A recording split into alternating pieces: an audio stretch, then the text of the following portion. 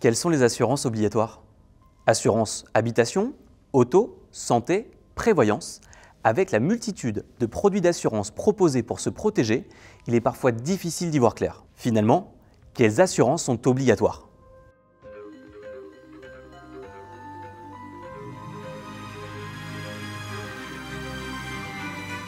Bonjour et bienvenue à tous dans ce nouveau Centre des experts. Je suis Jean-Charles, expert en assurance chez Société Générale. Nous allons prendre ensemble quelques minutes pour répondre à vos questions sur les assurances obligatoires et facultatives. Pourquoi certaines assurances sont-elles obligatoires? Les assurances obligatoires sont celles qui vous permettent d'indemniser les victimes en cas de dommages que vous seriez amené à causer. C'est cette responsabilité à laquelle vous ne pouvez pas échapper qui rend obligatoire ces assurances. Quelles sont les assurances obligatoires? L'assurance habitation est obligatoire pour les locataires et les propriétaires en copropriété.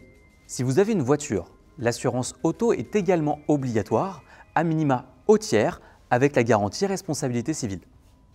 C'est cette dernière garantie qui couvre l'obligation d'être assuré en cas d'accident matériel, immatériel ou corporel dont vous seriez responsable. Enfin, l'adhésion à une complémentaire santé collective est en principe obligatoire pour la plupart des salariés. Selon votre situation personnelle, d'autres assurances obligatoires vous seront demandées, exemple si vous êtes chasseur. Faut-il souscrire une assurance habitation lorsque l'on est propriétaire? Si vous êtes en copropriété, l'assurance habitation est obligatoire. Si vous êtes propriétaire d'une maison individuelle, l'assurance habitation n'est pas obligatoire, mais elle reste fortement recommandée. Elle vous prémunira notamment d'un risque d'incendie, de vol ou bien encore d'un dégât des eaux. Une assurance est-elle obligatoire pour la souscription d'un crédit? S'il s'agit d'un crédit à la consommation, l'assurance emprunteur n'est pas obligatoire. Pour un projet immobilier, l'assurance emprunteur n'est pas non plus obligatoire, mais elle reste exigée par l'établissement prêteur au vu des montants engagés. Dans tous les cas, si vous faites un crédit, il est recommandé de souscrire une assurance emprunteur. Elle prendra en charge tout ou partie des mensualités de l'emprunt, ainsi vous éviterez de laisser des dettes à vos héritiers. Pourquoi s'assurer si ce n'est pas obligatoire? Le principe d'une assurance est de couvrir un risque que vous auriez du mal à assumer vous-même financièrement. Avec une assurance, vous cotisez de petits montants pour ne pas payer de gros montants en cas de sinistre.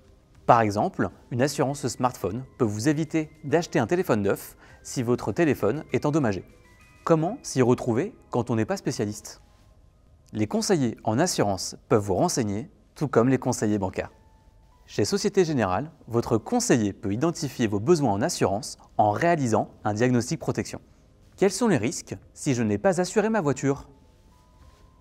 Si vous n'êtes pas assuré et que vous causez des dommages à autrui ou à vous-même, le risque peut être pénal.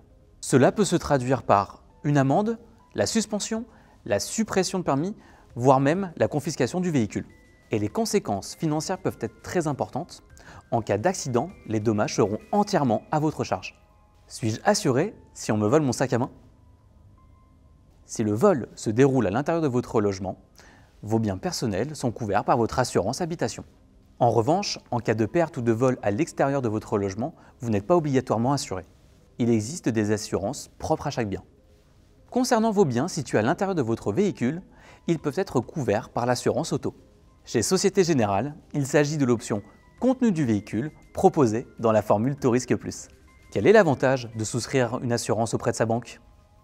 Premier avantage, vous bénéficiez de l'expertise bancaire et assurantielle de votre conseiller. Autre avantage, chez Société Générale, si vous souscrivez un prêt pour le financement de votre véhicule en même temps que l'assurance auto, nous pouvons prendre en charge jusqu'à 6 mensualités de crédit si votre véhicule est volé ou détruit.